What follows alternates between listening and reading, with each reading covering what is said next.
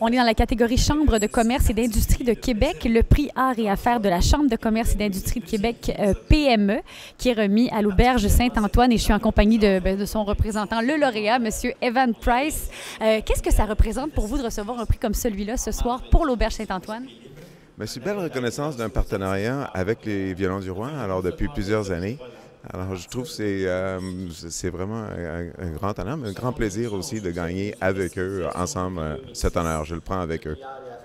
Est-ce qu'on se prépare pour ce genre d'événement-là? Est-ce que, euh, dans le fond de soi, on, on le souhaite comme, euh, comme, comme tout ou est-ce que d'être ici ce soir, c'est déjà, euh, si on veut, euh, une belle victoire?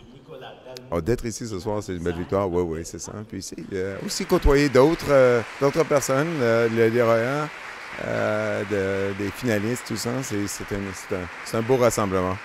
Bien, félicitations puis bonne continuité. Ben, merci beaucoup.